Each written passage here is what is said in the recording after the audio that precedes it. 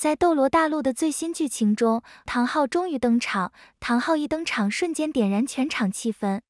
在唐三绝望之时，那霸气的昊天锤从天而降，瞬间就击碎了金鳄斗罗的第六魂技，救下唐三。随后又有无数柄昊天锤从天而降，坠落在嘉陵关城头。武魂帝国众人被炸得人仰马翻，这正是昊天宗那一百名精锐弟子。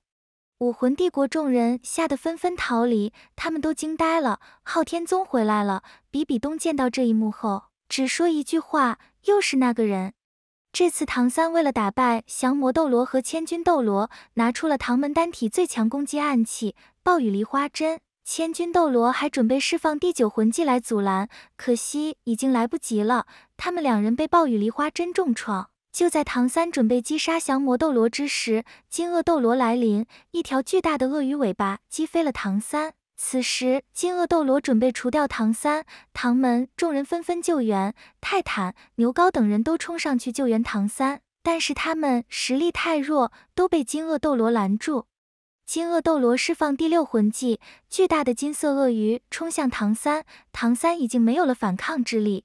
全身是伤的唐三流露出绝望的眼神。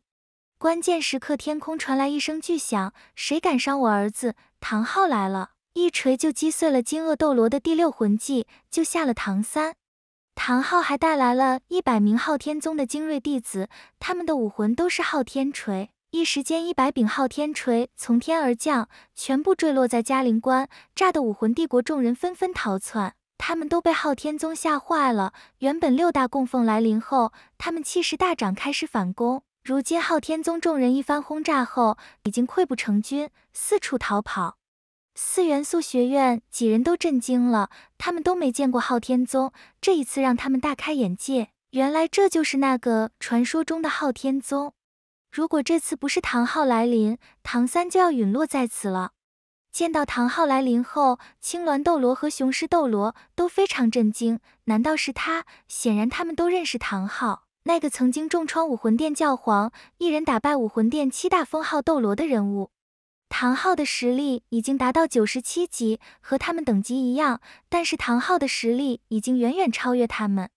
比比东见到唐昊后也非常吃惊，之前在魂师大赛之时就和唐昊交手过。被唐昊那强大的实力碾压，比比东惊讶过后，脸上却再次流露出诡异的笑容。